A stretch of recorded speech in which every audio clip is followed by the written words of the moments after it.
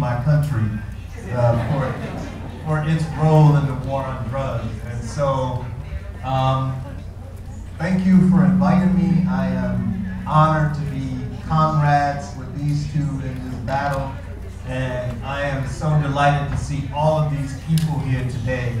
Um, and um, so let's do it. Uh, what I'd like to do today is talk to you a little bit. Uh, I'm a scientist and I've been studying this thing for about 24 years, this issue of drugs. But no one was listening. People only started to listen since I published this book. And by the way, I hope you all go out and buy it. people have started to listen now.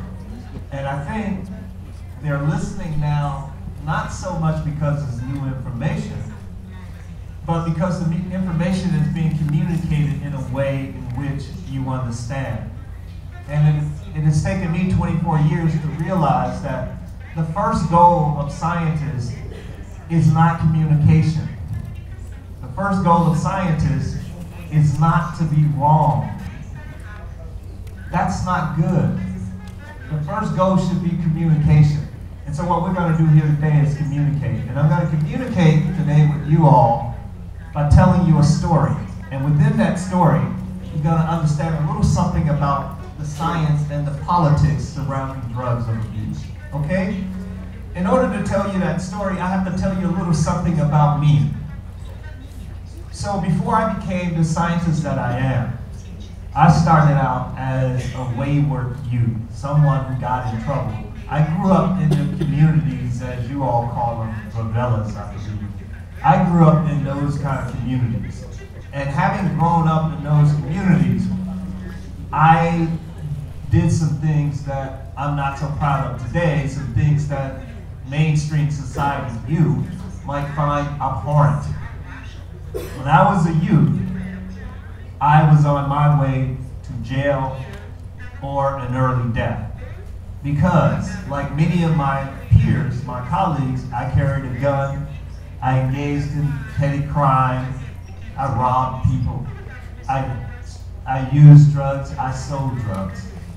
I did a number of those things that I'm not proud of today. Now, the question is, how does one start out in the hood, in the favelas, and end up being before you here in a packed auditorium? How does that happen? How did I go from that, that background? I have to tell you, uh, this is a bit confusing. I just have to interrupt for a second because I don't have my slides coming. This is bizarre. I can't control this. All right. Okay, I'm in control of this now, but this is bizarre. The question becomes, let's go back to the question, how did I become who I am today after having gone from uh, uh, uh, a, a, wayward youth in the hood? How did I become the first African American tenured scientist at Columbia University? How did that happen? There are some things that we know as societies, as scientists, that could help people move from the surveillance and move into mainstream to becoming productive tax-paying citizens, to contributing to the society. We know these things, but we pretend that we don't. So we act as if people like me are exceptions. I am not an exception. There are many more smart people, smarter than I am, who grew up like I did, and who in this country is growing up like I grew up. They're smarter than me, but they won't make it because society has decided that they're not worth it. And so what I'm going to do today, I hope, is to help you see how I became the person I am. And maybe you can offer some suggestions to your government to help other folks. This is, this is a picture, a photo of my family. In the back row are my sisters, and kneeling down is my mother, and my brothers are on the second row.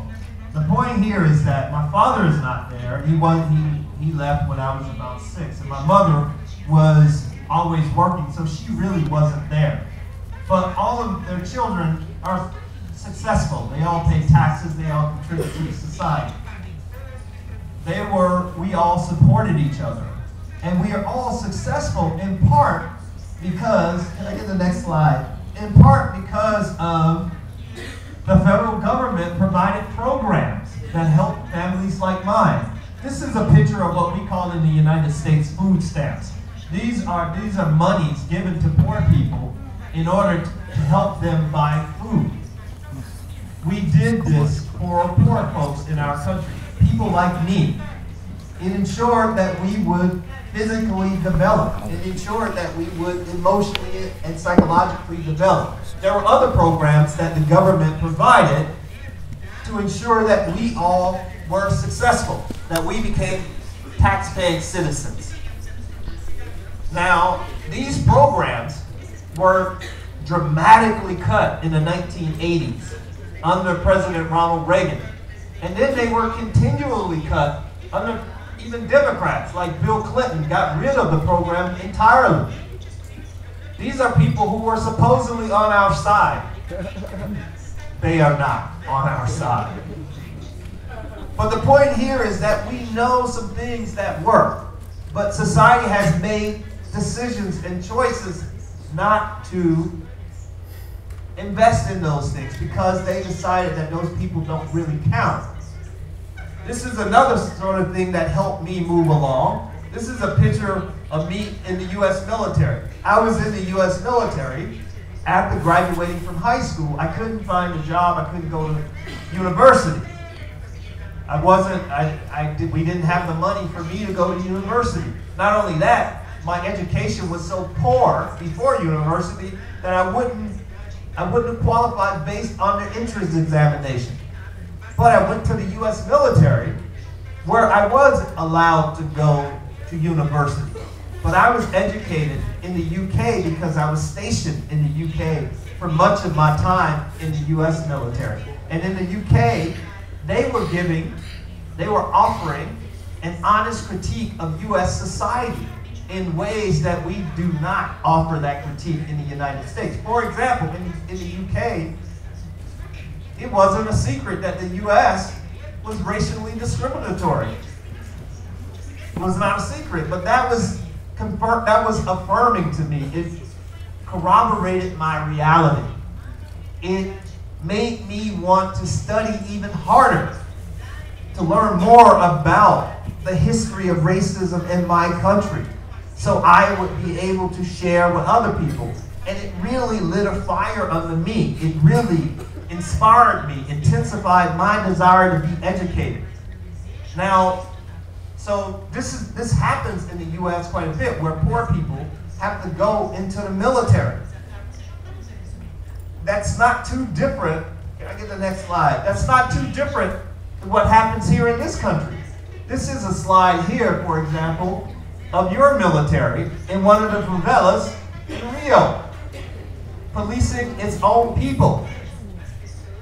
The difference here is that those guys in the military don't seem to be getting the education or the knowledge that they're participating in the subjugation of their own people. So it's important that when people do move into the military in these spaces, that they also get education. But that doesn't seem to be happening. But that's okay for young people because you have you have an opportunity to continue to learn as I did. Because when I was in the military, I certainly was not the person I am today. But you hope that those folks will be getting education so they can see what's really going on in the society. Now, when I was in the military in the 1980s, in the United States, we had this new phenomenon, this new crisis. This new crisis was crack cocaine. And I was starting to become conscious. I was starting to want to make a contribution to my society. And I was trying to figure out how. This is a sign. This is a sign. This is a, a, a, graffiti of a sign that says crack is whack, meaning that crack is bad and not cool. And you saw these in the 1980s throughout the United States. These sort of billboards, advertisement, telling the community that crack is the real problem that faces the community. And there were, this is a, a, an image of the group called Public Enemy, the hip hop group. You all know Public Enemy, the hip hop group, right? They made a song called The Night of the Living Baseheads, uh, telling people that crack was the real problem that was destroying the community. Public Enemy, by the way, is my favorite hip hop group. They were trying to be conscious, trying to make sure that the community understood what their what problems faced them. And they said it was crack cocaine. Um, next slide. This is a this is a slide of a, a, film called New Jack City. Have you guys heard of New Jack City? Anybody in your house? We have some people from the hood. You've heard of New Jack City? New Jack City was a film that, that, that showed the horrors of crack cocaine. This drug dealer, Nino Brown, took over a housing project, a favela, basically, in New York City. And he ran his drug operations out of that. And he was a vicious, violent person. This is what the film said. And they told us that this was the reality. Just to give you a preview or a forecast, that's not the reality, and we'll talk about that in a second. But people were told that was the reality. And as I think about what happened in the 1980s in the United States, I think about this country today. You guys are back to the future. This is, you are in 1986 in the United States today in your thinking about crack cocaine. Now, this is an article that was published a couple years ago called New Jack Rio a take off of New Jack City. It's published by a woman who would eventually become my student. But she was in Rio on a Fulbright scholarship and she wrote this article. I love her dearly. The article is awful. because it is full of hysteria and inaccuracies about drugs.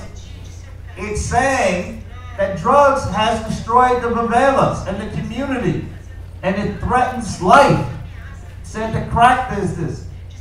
It says this without any sort of knowledge of history. Before crack appeared here about 10 years ago, before that, were the favelas, were the people in the favelas thriving? Were they, were they doing well? Were they going on vacation? twice a year. So these kinds of things defy logic, but you, the public, believe them.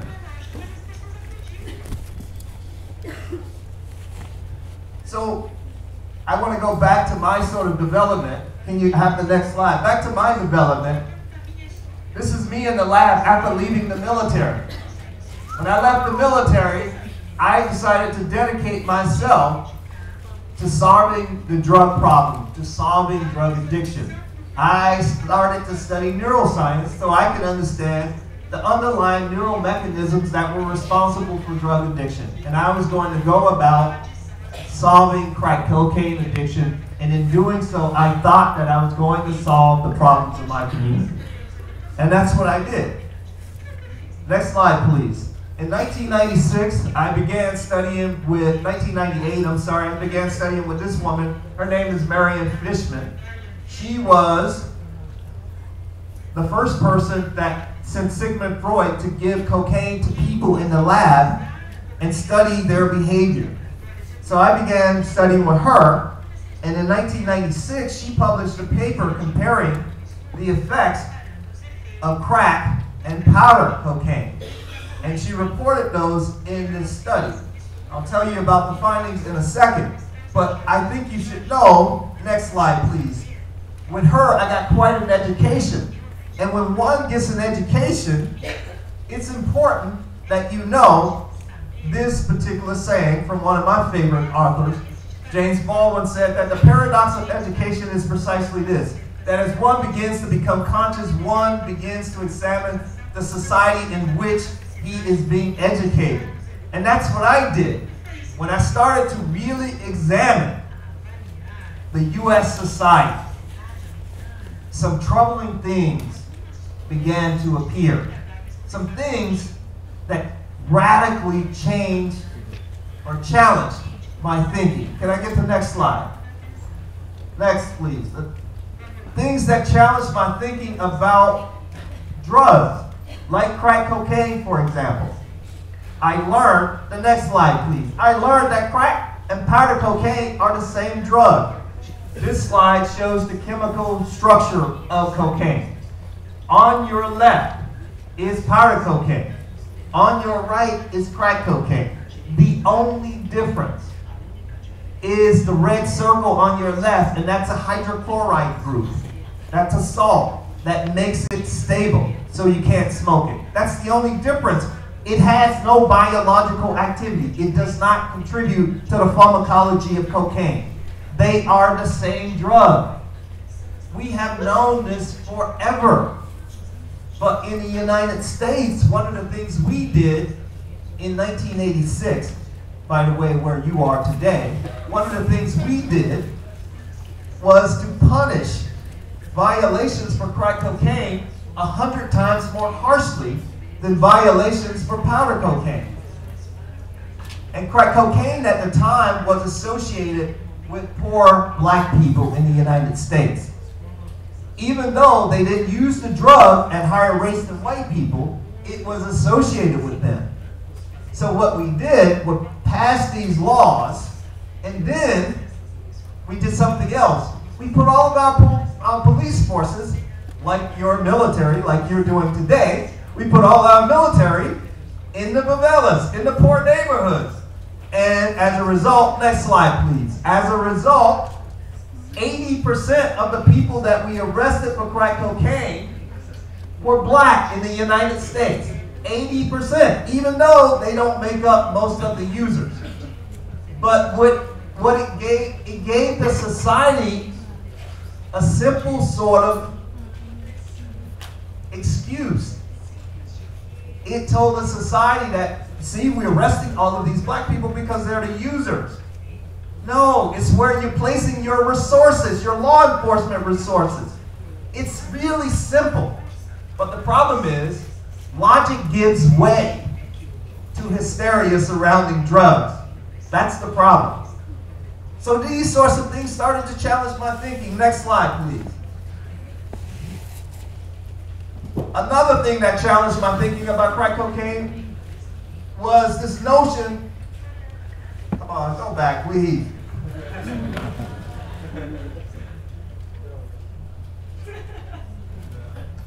See, this is why science talks. This is why science talks are so boring because the setup is not really good for a scientist right? or for a presenter. So you want to make sure that the presenter has control. So you can, never mind. Next slide.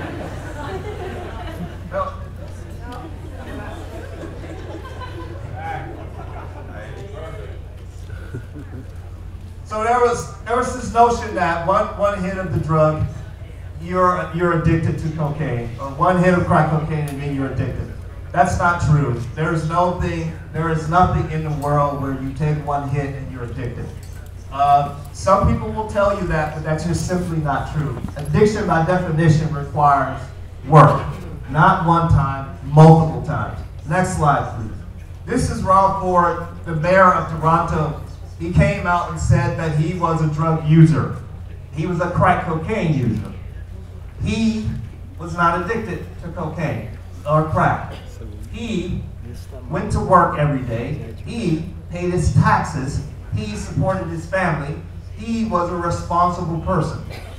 Mind you, some people think that he was a jerk but that didn't have anything to do with his cocaine use. The point is, the point is, people can use drugs and still be responsible. People can use crack cocaine and still be responsible. As we will see, and some of you all have seen already in the next slide, please. These are the former presidents of the United States. They all are former, well, I shouldn't say former because I'm sure they drink alcohol. They all have admitted to illegal drug use.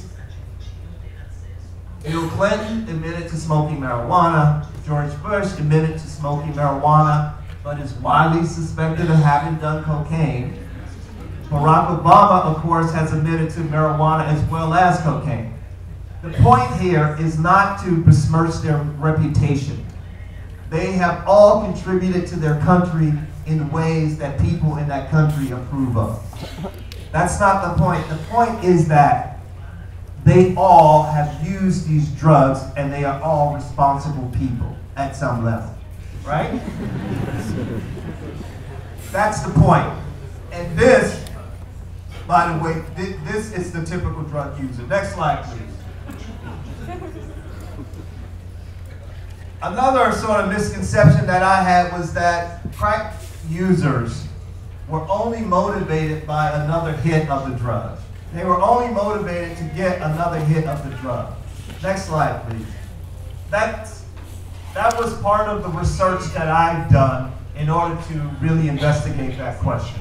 One of the things that we had been taught, particularly in my early education as a college student, we were told that when you allow laboratory animals to press a lever to receive injection, uh, intravenous injections of drugs like cocaine and amphetamines, they would inject themselves or press a lever until they die. That is true. That is true until you look more closely. When you look more closely, you understand that the, the laboratory animal only had access to the drug and nothing else. But if you provide that animal access to other things, like a sexually receptive mate, a running wheel, sweet treats, an enriched environment, they do not press the lever until death. In fact, they would prefer to engage in those other activities under many conditions. So I thought it would be interesting to do a study in which you brought cocaine addicts into crack cocaine addicts into the lab and you offered them an opportunity to take crack or something else. In this case, they were offered an opportunity to take the drug or $5. And what we found was they took the drug on about half of the occasions when $5 was available. It let us know that these folks were not only being responsive to the drug, but they were highly responsive to environmental manipulations. So you can alter drug taking behavior simply by providing alternatives that people can engage in. It's simple. We've known this from the laboratory animal research, we know it from the humans, and we know it from drug treatment. There are types of drug treatment based on this. That's simple. Next slide, please. These myths, however, about crack in my country now have been extended to a drug called methamphetamine. Next slide, please. This is a picture of a brain. This is a brain imaging picture on your left, you will see the image of a normal brain. On your right, you will see the image of a methamphetamine addict. And some people, who, and some of them call themselves scientists, will tell you that those, this brain image tells you something about the person's behavior. It doesn't. It tells you absolutely nothing about the person's behavior. I'll tell you why. It tells you nothing about the person's behavior because if you take a woman and you take a man and you image their brains, you will find differences. There'll be some areas in which men have more cells or, or uh, uh, cellular processes than, uh, than women. But no one will say that these women are brain damaged. Well, maybe somebody might say, someone say that. But no rational person will say that, right? And if we take the brains of people on this side of the room versus that side of the room, what we'll find, we'll find some differences. But we won't draw conclusions about those differences in terms of behavior. That would be inappropriate. Next slide, please. What I noticed was the scientific literature was replete with claims based on those type of images. So I published a paper about a year and a half ago that critically reviewed the scientific literature on brain imaging and cognitive functioning in methamphetamine users. What I found was that methamphetamine users' cognitive functioning was within the normal range, the typical range when you controlled for age and education. So they performed just like anybody else who, uh, who had the same amount of education as them and who was the same age.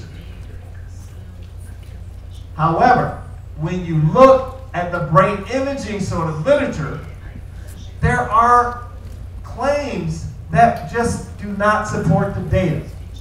Despite the data that's collected by the researchers, they still make these claims that these people are cognitively impaired or brain damaged. Just simply not appropriate. That's why the public, in many cases, are misinformed about drugs. So one of the goals that I like to do is make sure that the public is more literate in terms of science. In order to be literate in terms of science, all you have to do is look at the data yourself, not what people are telling you.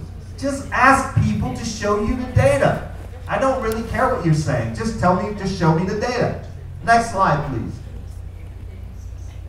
So one of the things that we did as well in the study, in, in my studies, was to bring methamphetamine addicts into the lab and do the same study with, that we did with crack cocaine, but this time offer more money. If you focus your attention on the red bar, please, that's the number of opportunities, the choices that the methamphetamine users had to take the drug. When you offer them a choice between the drug and nothing, they take the drug on every occasion. Next slide, please. When you offer them a choice between the drug and $5, they take the drug on half of the occasion. But when we offer them a choice between a drug and $20, next slide please, they never take the drug. They behave rationally. This is inconsistent with what has been said about drug users. Just simply, they behave just like you and me, rationally. Next slide, please. And we also have this notion that we can have drug-free societies. In the United States, we've said that we want to have a drug-free America, a drug-free community. This notion is, how can I say, ridiculous. This notion is ridiculous. It's ridiculous because there has never been a drug-free society. There never will be a drug-free society, and you don't want to live in a drug-free society. I assure you. Next slide, please. But as I said, you guys are, are repeating what we did in the United States. This was, I was in Rio recently and I, I uh, took this picture. This was this is a picture of a government car. And on the car it says, crack, it's possible to win. I don't even know what that means. but the idea is that crack is, somehow has human qualities or something. But this is the kind of nonsense that happened in the 1980s in the United States. Next slide, please. Another thing that challenged my, my, my sort of thinking was the amount of money that we're spending in the United States to control drugs. Between 1970 and 2011, we increased the amount of money that we spend on controlling drugs by 3,500%. We now spend $26 billion a year to control drugs. Next slide, please. When you spend that kind of money, you have to have results. And the results that we get in the United States is that we now, the number one reason we arrest people is for drug violations. Drug violations constitute the most amount of arrest in the United States.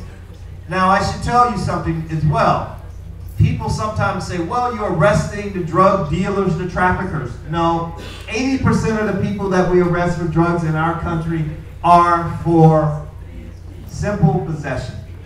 Simple possession of marijuana, by the way. 80% of the people that we arrest are for simple possession. So it's not the traffickers, it's people, just regular folks. Next slide, please. When you have this situation, spending this kind of money, arresting large numbers of people in your population, you have to ask the question, how and why is this justified? And when I think about how and why this is justified in the United States, I have to go back, not far, but I go back and look at the history. Next slide, please. And I have to look at one of my heroes. When he was struggling with the war of his day. The war of his day was the Vietnam War.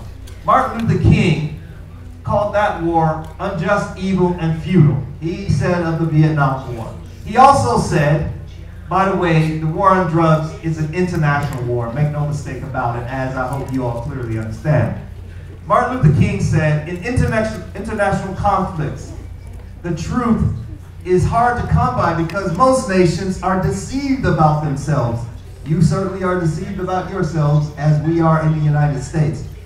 Rationalizations and incessant, scape, uh, incessant search for scapegoats are psychological cataracts that blind us to our sins.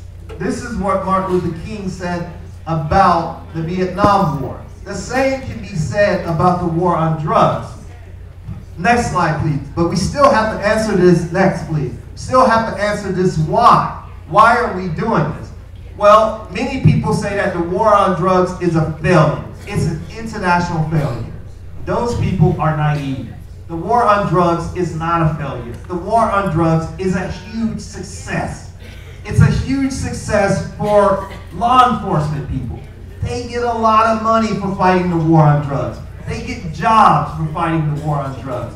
The war on drugs is a huge success for politicians.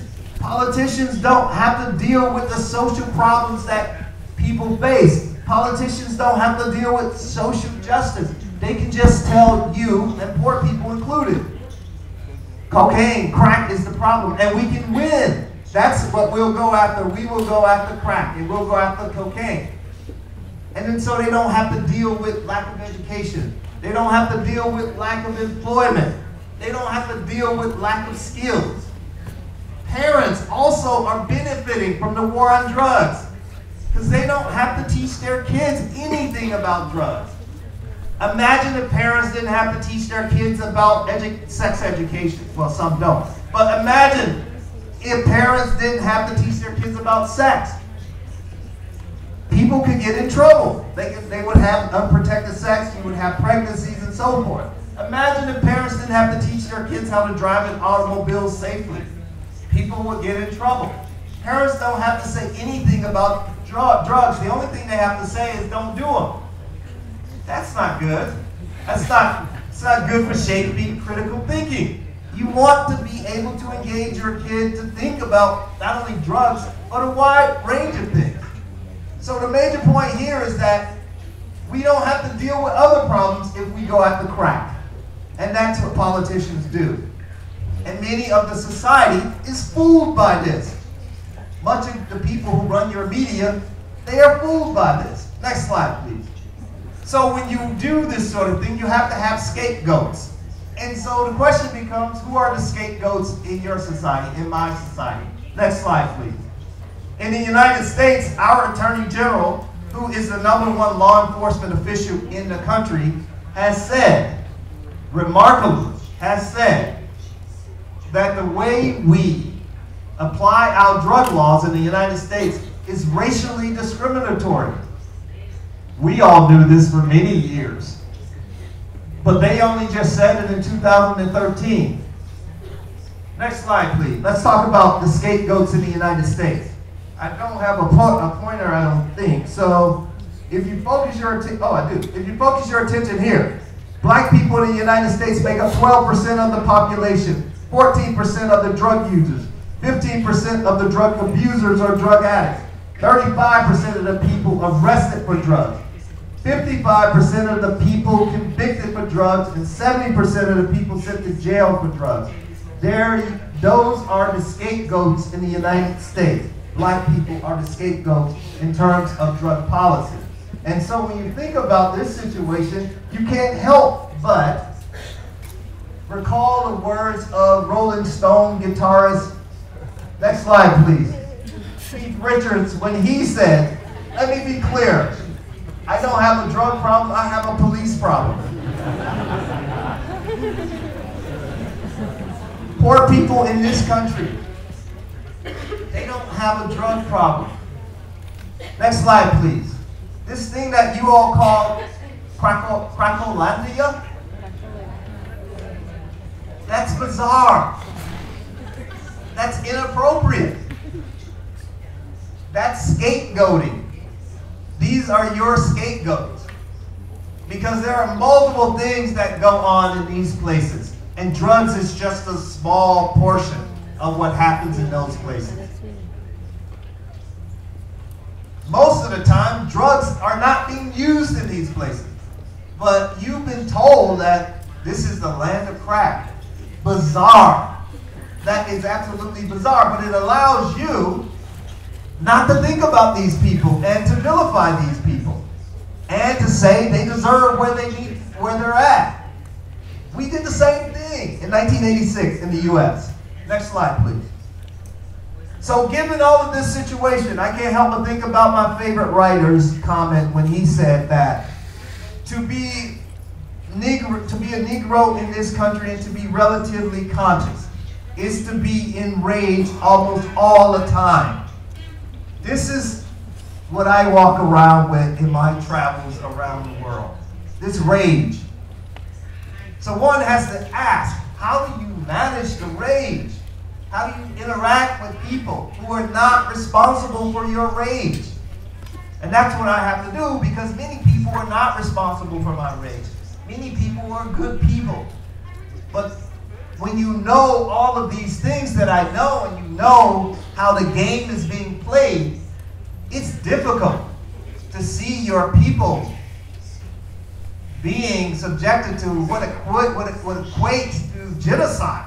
It's very difficult to be a conscious person and allow this to go on without being enraged. And so one of the things that I try to do is to be in these kind of spaces, to bring this sort of thing to your attention. To make sure that science, for example, is not allowed, or scientists are not allowed to manipulate you all or you're not allowed to manipulate the public with science. It's one of the things I do. Next slide, please. Another thing that I'm trying to do is to offer a solution, a way that we can actually help. A way that we can actually help is combine our science with our public policy. And today, I just, before concluding, I just like to offer two solutions. A legal one and an educational one. Next slide, please. Next, please. Next. So I would like to offer that you all, the world, consider first to decriminalize all drugs. Don't arrest people for drug-related violations. Treat drug-related violations just like you treat traffic violations. You can send a message and say the society doesn't approve of that. When people are driving their cars recklessly, we don't approve of that in our society. And you certainly can kill someone with your car. We don't approve of that. But we're not arresting people for many years for that behavior. I'm proposing to do the same thing with drugs. I'm not proposing to legalize drugs, not, not doing that. The reason why I'm not proposing to, le to legalize drugs is because the population is too ignorant. I'm not worried about drug effects. I'm worried about the hysteria that's going to be said following legalization and you, the, pub, the public, believing the hysteria. So before we can go to legalization, I'm asking that we, next slide please, I'm asking that we teach some basic things first. Teach the basics. Teach people about the importance of things like dose. As I said, I've been studying drugs for more than 20 years the most important lesson I have learned in that 20 years is this. As you increase the dose of a drug, the amount of the drug, the more likely you are to see negative, deleterious effects. That's so important. It tells novice, new users, not to start with large doses. If you don't start with large doses, many of these problems that you see related to drugs will be gone, wiped out. I'm also asking people to understand something about the experience of the drug user. Are they tolerant or are they not? If you are tolerant, you can take larger doses. I don't need to tell tolerant drug users that, they already know that. But the public needs to know that, and novices need to know this. They need to know something about the environment the environmental setting, powerfully influences drug effects. If you take a drug in a place like Sao Paulo, where marijuana apparently is illegal, right? so if you take a drug like marijuana near a police station out, outlet, if you take it near police, that's not a good thing because you might get paranoid. As well, you should get paranoid in this country, apparently. So it's not a good thing, but you can take that same drug in a comfortable setting with friends who you trust and have a great experience. The experience that you have on that drug will be changed depending upon the setting. People need to know that. They need to know something about the route of administration. When you take drugs, smoking it versus taking it in the mouth. Smoking a drug, you take smaller amounts because the drug, none of the drug will be broken down before it hits the brain. Whereas if you take a drug orally, much of it will be broken down before it gets to where it needs to go. All of these basic sort of things people need to know. Next slide, please. Another thing that people need to know in terms of basic education, and we can talk about these in the question and answer session uh, because I want to wrap up so I give you guys an opportunity to ask questions. You've been great, you've been patient. I, frankly, I couldn't sit there as long as you have, so thank you. But another thing that you all should know is when we think about why people take drugs or when people take drugs, you should understand this precisely. When people do crack cocaine, it's not because they're crazy, as some people will have you believe. People do crack cocaine because if they get real cocaine and a nice dose, it's euphoric. And it might temporarily relieve them from some of their conditions that are not so pleasant. Or they may take it because they're at a party and they want to have a good time. They're not crazy. People don't take drugs because they're crazy. They take them because they are functional. What, when you go to your physician and are prescribed a medication for something and you take it, you're not taking it because you're crazy. You're taking it because it's functional, right? We can talk about that this in the question and answer session. Next slide, please. As I conclude, this is a picture of Martin Luther King in the 1963 March on Washington, where he made the famous I Have a Dream speech. In our country, in the United States, there are many people who are older than 60 years old, for example. This speech was made 50, year, 50 plus years ago. People in our country who are older than 60, they all remember what they were doing when he made the speech, or they remember what they were doing to fight for civil rights in the United States. They remember going down to the South and protesting. They remember all of those sorts of things. They had this was their social justice moment, social justice issue of their time, and they all can tell you how they contributed. Next slide, please. The question before you all here today, as we think about the social justice issue of your time, when you look back on this era. The question before you, in the face of this huge social injustice that you have going on right now in your country, when you look back, the question before you is, how did you contribute to promoting social justice in this era? Thank you.